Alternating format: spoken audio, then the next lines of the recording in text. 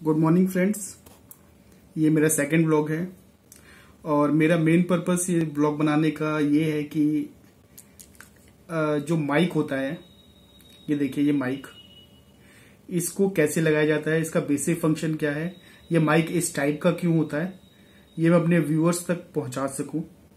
तो मेरी आप सभी से रिक्वेस्ट है, अगर ये व्लॉग आपको अच्छा लगे इन्फॉर्मेटिव लगे तो प्लीज़ इसको लाइक करें शेयर करें सब्सक्राइब करें। ताकि इन्फॉर्मेशन जो आपने देखी है, आपने सुनी है, समझी है, वो सभी तक पहुँच सके। तो अब मैं व्लॉग स्टार्ट कर रहा हूँ। फ़र्स्ट ऑफ़ ऑल इसको क्या बोलते हैं? इसको आप ठीक से देखिए। इसमें तीन तारे होती हैं। एक व्हाइट एक रेड एक ब्लैक तो इसको बेसिकली बोला जाता है माइक ये माइक होता है।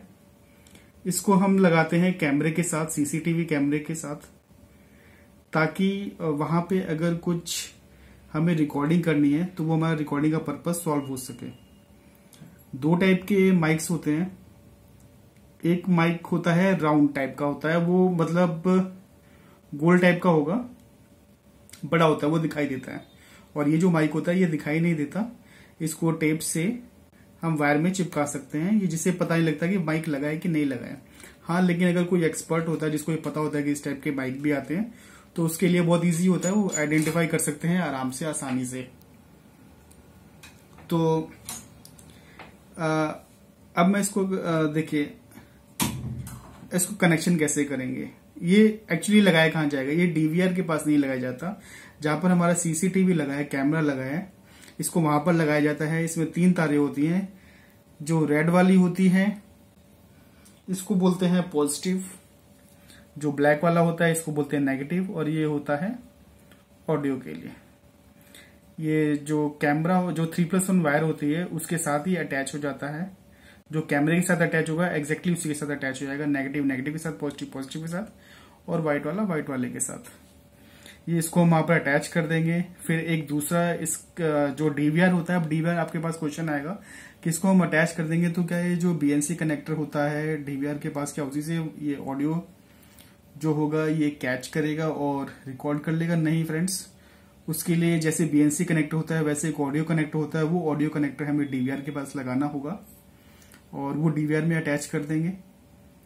और डीवीआर तक ये वायर नहीं जाती डीवीआर जैसे हम थ्री प्लस वन वायर में इसको अटैच करेंगे जो तो थ्री प्लस वन वायर की वायरिंग का जो पार्ट डीवीआर में जाएगा, वही जो है वहाँ पर ऑडियो कनेक्टर के पीछे लगेगा और ऑडियो कनेक्टर ऑडियो कनेक्टर के पोर्ट में लग जाएगा टीवीआर में। तो इससे हमारे जो वीडियो फुटेज के साथ ऑडियो क्वालिटी, ऑडियो भी आएगा। अब रही बात इसकी रेंज की। तो लोग बहुत चीज़ें बोलते हैं कि ये 20 मीटर तक ऑडियो कैच करेगा 30 मीटर तक कैच करेगा। कई लोग इतना भी बोल देते हैं कि 40 मीटर तक एकदम बढ़िया क्वालिटी में कैच करेगा, लेकिन आप इस माइक से ज़्यादा उम्मीद ना रखें, क्योंकि इसकी भी कैपेसिटी होती है। अगर आपको ज़्यादा क्लैरिटी चाहिए तो दूसरा टाइप का माइक लगाएँ, जो कि दिखाई देता है। और अगर आपको इस टाइप का माइक लगाना है तो इसकी मान के चलिए 20 से 30 मीटर तक के बीच में ये आपको ऑडियो क्वालिटी दे देगा। ठीक ठाक सा। अब ये मार्केट में उपलब्ध होते हैं, कोई पचास रुपए का भी बेचता है, कोई सौ रुपए का भी बेचता है, कोई सवा सौ रुपए का भी बेचता है, कोई एटी रुपीज़ का बेचता है। तो ये आप, जिस शॉप से खरीद रहे हैं, उससे आप बात करें कि बढ़िया क्वालिटी का कौन सा होगा। और कौन सा आपको लगाना चाहिए आपकी कितनी रेंज है आपकी रिक्वायरमेंट कैसी है। तो फ्रेंड्स बस मैं ज़्यादा ब्लॉग को बढ़ा ना बढ़ाते हुए मैं जो इन्फॉर्मेशन मैं आप तक पहुंचाना चाहता था मैं उन्हें वो दे दी है। ये माइक होता है मैं अब एक ब्रीफ आ, ब्रीफ कर देता हूँ इसको। आ, मैंने अपनी वीडियो फुटेज में इस माइक के बारे में बताया। ये माइक जो होता है ये हिडन टाइप का माइक होता है इसको कैमरे में लगाया जाता है। और इसके जो वायर्स है नेगेटिव पॉजिटिव और ऑडियो तीनों हैं। इसको वहाँ पर अटैच किया जाता है। इसकी रेंज तकरीबन तकरीबन 20 से 25 मीटर तक होती है।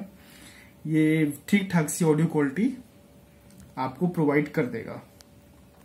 तो फ्रेंड्स ये मैं अपना व्लॉग खत्म करूँ आप, मेरी आपसे रिक्वेस्ट है कि प्लीज़ अगर आपको ये वीडियो अच्छी लगी हो तो इसको लाइक करें सब्सक्राइब करें शेयर करें। फ्रेंड सर्कल में, अपने नोन में, अपने रिलेटिव्स में, ताकि ये इन्फॉर्मेशन सभी तक पहुँची, पहुंचाई जा सके। Thanks friend